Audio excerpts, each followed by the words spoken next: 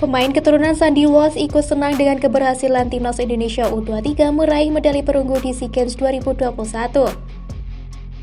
Pemain Kavi Michelin ini berharap bisa gabung secepatnya serta berkeinginan membawa timnas ke Piala Asia. Timnas Indonesia U23 berhasil meraih medali perunggu di SEA Games 2021 setelah mengalahkan Malaysia via adu penalti. Keberhasilan skuad Garuda Muda ikut membuat Sandy Walsh senang. Pemain berusia 27 tahun ini pun berharap segera bisa membela timnas Indonesia. Pasalnya, kini anak kasus Sintayong akan dihadapkan dengan tugas di kualifikasi Piala Asia. Mengomentari permainan timnas Indonesia U23 di SEA Games 2021, Sandy Walsh mengatakan bahwa semangat juang skuad Garuda Muda sangat tinggi, tetapi masih butuh sedikit pengalaman lagi.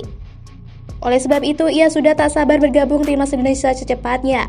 Sandy Walsh kini juga sedang mengurus proses naturalisasi bersama Jordi Amat. Sementara itu, kualifikasi Piala Asia 2023 akan dilangsungkan pada bulan Juni. Timnas Indonesia berada satu grup dengan Yordania, Kuwait, dan juga Nepal.